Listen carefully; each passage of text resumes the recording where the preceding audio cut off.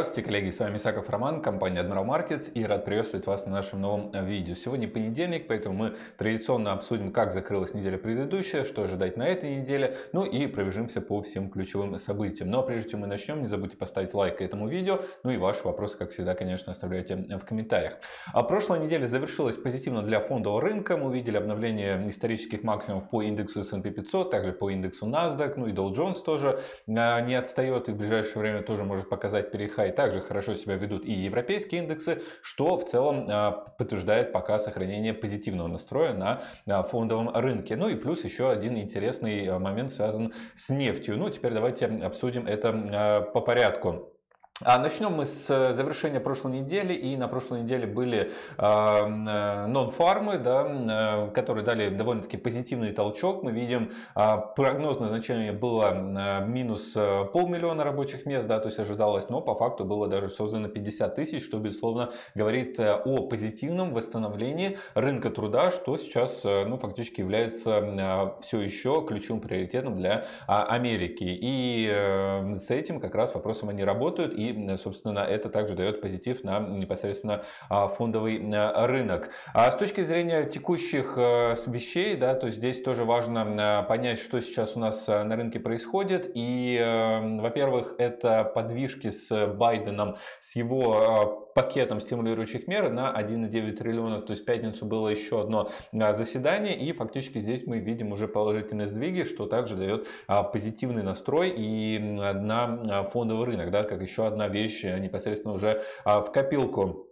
А что еще интересно? Интересно эта ситуация вокруг нефти. Также было заявление от а, хедж-фондов, что они видят позитивный а, настрой на 2021 год относительно нефти, именно роста котировок, поэтому они ставят на повышение в связи с тем, что экономики будут восстанавливаться и нефть снова будет нужна, то есть для того, чтобы как раз возместить те потери, которые были в течение 2020 года. А по разным оценкам ожидаются цены по нефти марки Brent в районе 70-80 к концу 2021 2021 года. Сейчас мы видим, что уже торгуемся по, а, в районе 60, поэтому здесь перспективно как раз настрой на укрепление нефти, оно остается. Поэтому важно понимать, что еще в 2021 году на фоне как раз вот восстановления того, что было в 2020, нефть себя вполне может показать. Конечно, вряд ли мы можем увидеть движение там в область 120, 150, но в целом вот это э, восстановление, оно может дать, безусловно, свои плоды, в том числе, например, акции нефтяных компаний, то есть в моем портфеле есть ExxonMobil, я пока его продолжают держать, потому что, конечно, на этом позитиве акции тоже могут э, вырасти.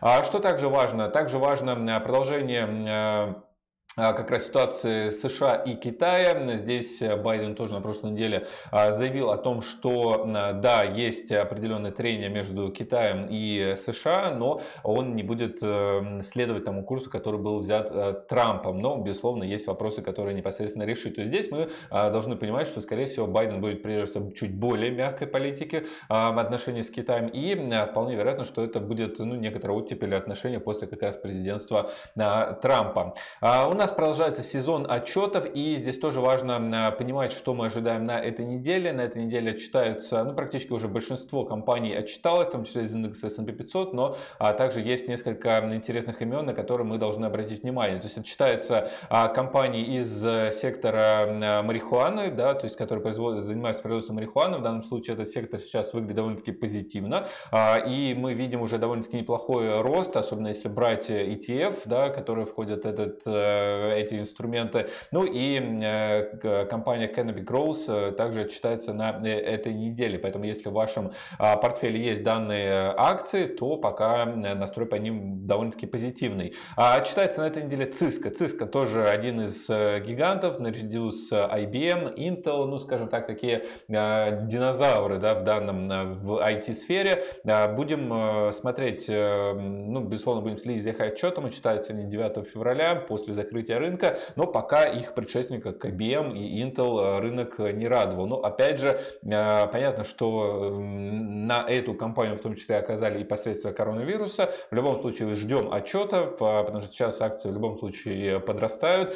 Посмотрим, будет ли какой-то дополнительный позитив. Также отчитается Coca-Cola, также отчитается компания Zillow, Uber да, будет отчитываться.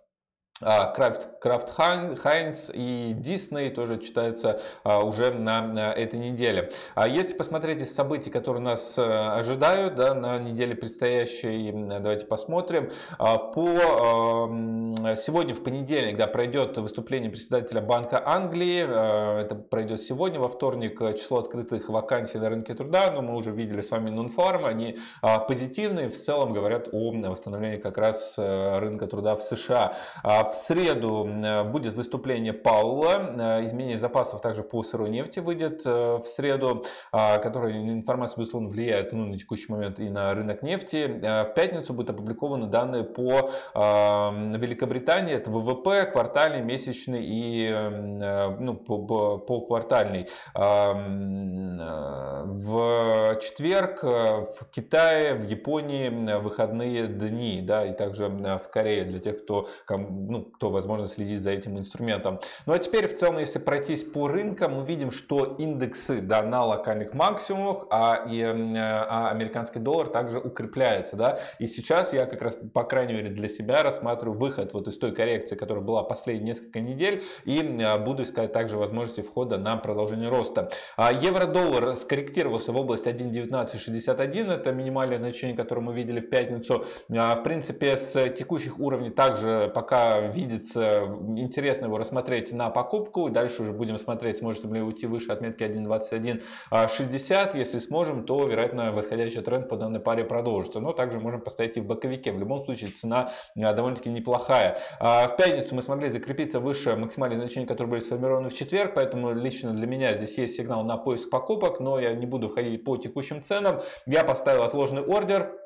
И если цена скорректируется, то еще раз в евро-доллар я войду. Э, я напомню, что несколько раз я его уже пробовал а, покупать, но на данном нисходящем движении уже э, две сделки были закрыты по стоп-лоссу. Собственно, сейчас э, еще более интересный уровень поддержки, поэтому еще раз здесь я попробую заходить на продолжение роста. А по британской валюте здесь мы тоже видели коррекцию. На прошлой неделе очень быстро восстановились. Сейчас торгуемся практически по локальному максимуму, который мы видели в январе. А, не было интересных точек для входа на присоединение, поэтому пока британская американская валюта остается вне поля моего внимания, поэтому здесь пока я тоже беру на паузу. По паре американский доллар, канадский доллар, здесь мы видим пока продолжение нисходящей формации. В пятницу мы обновили минимальное значение, то есть ушли ниже значения четверга и среды, что пока подтверждает сохранение данной а, нисходящей формации. Но из данной валютной пары я вышел после перехая, который был как раз а, в четверг, поэтому здесь я пока нахожусь вне позиции и, возможно, если будет еще одна волна роста, то я для себя тоже рассмотрю возможность входа на продолжение по снижению данной валютной пары, но пока здесь остаюсь не рынка. А по паре американский доллар, японская иена, если мы посмотрим на дневной таймфрейм, здесь как раз а, довольно-таки интересный уровень для того, чтобы заходить как раз на продажу. Мы вернулись к максимальному значению, которое мы видели а, в ноябре, и с текущих уровней а, продать доллар иену мне видится тоже интересная идея, по крайней мере на эту неделю я буду пристально следить за этой парой. К сожалению, пока мы не смогли закрепиться ниже минимальных значений, которые были сформированы в пятницу, если это произойдет сегодня, я поставлю отложенный ордер и примерно в области 105.59 и а, буду ждать э, коррекцию для того, чтобы как раз войти в данную а, позицию. Поэтому здесь э, довольно-таки неплохой потенциал для снижения может быть, поэтому доллар иена одна из ключевых пар в фокусе моего внимания на эту а, неделю. Австралиец продолжает укрепляться. По австралийцу также был сформирован довольно-таки неплохая область э, поддержки после той коррекции, которая была начиная с ну, первых чисел января, поэтому здесь я тоже для себя уже перевернулся непосредственно в покупки и вошел минимальным объемом просто по рынку. Цена была довольно-таки неплохая неплохая, но об этом я говорил тоже уже а, в пятницу. Поэтому сейчас пока нахожусь в данной позиции, мы увидели здесь уже перехай, поэтому здесь я тоже стоп-лосс уже перемещу за минимум, который был а, в пятницу. Сейчас торгуемся по локальным на максимум. Ну, буду следить э, в целом, да, жду, а, ожидаю вновь поход на область максимальных значений, которые были в начале января, но если ситуация на рынке поменяется, то, конечно, буду выходить и по другим ценам, если вновь наметится нисходящая формация. А по новозеландцу, здесь тоже мы находились находились довольно-таки долгое время в таком в боковике, и пока он все еще сохраняется, но а, каких-то интересных точек для входа здесь не было, поэтому новозеландец пока остается, ну, по, по новозеландцу пока позиции не рассматриваю. А, золото, да, золото еще один инструмент, который тоже пробовал покупать а, несколько раз. А, последний раз я делал это как раз в конце января, вышел ну, в небольшом плюсе, да, достаточно близко к точке входа. Сейчас мы видели еще одну волну коррекции, поэтому здесь я еще раз буду пробовать э, заходить. Я уже поставил отложенный ордер. Собственно, сегодня мы уже смогли закрепиться выше максимальных значений пятницы, что для меня дает сигнал как раз поиска покупок. Поставил отложенный ордер ниже текущих уровней, это область область 1793 э, доллара за тройскую унцию, 1794. Если мы скорректируемся в данную область, то в золото я бы а, вошел, да, вот по именно данным ценам, но не по текущим, потому что с точки зрения текущих уровней, а, с точки зрения риск-менеджмента, я просто не могу войти в эту позицию, чтобы не нарушить э, свои правила непосредственно по риск-менеджменту. А далее, по индексам, как я уже говорил, европейские индексы также довольно-таки себя неплохо ведут. Сегодня индекс DAX уже торгуется выше выше а максимальные значения, которые были сформированы в январе, поэтому опять исторический максимум. А, здесь все сохраняется позитивно, но той коррекции, которая была, ее тоже крайне быстро откупили, поэтому здесь практически не было а, откатных движений, начиная с 29 января, поэтому в эту позицию я не присоединился, так как я обычно присоединяюсь непосредственно на коррекциях. Ну и то же самое по индексу S&P 500. S&P 500 сегодня уже опять торгуется по локальным максимумам, поэтому здесь э, там, то падение, которое было его, опять же, крайне быстро выкупили, выкупили, но мы это видели и э, в прошлом году, да, подобные ситуации. Поэтому здесь э, рост пока продолжается.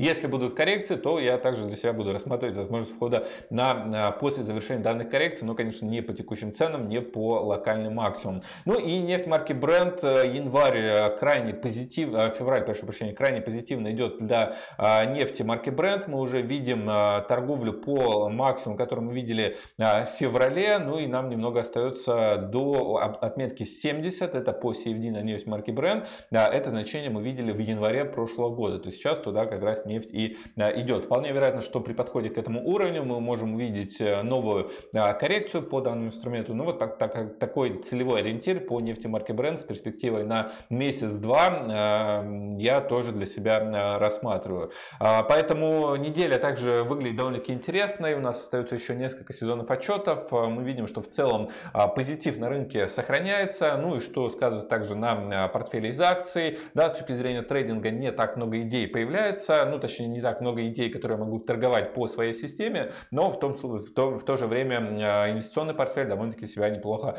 показывает. Ну а мы продолжим следить за текущей ситуацией, обсудим обязательно все важные моменты в среду. Не забудьте поставить лайк, если вам понравилось это видео. Всем желаю хорошей торговой недели. Увидимся с вами в среду. Всем спасибо за внимание и до свидания.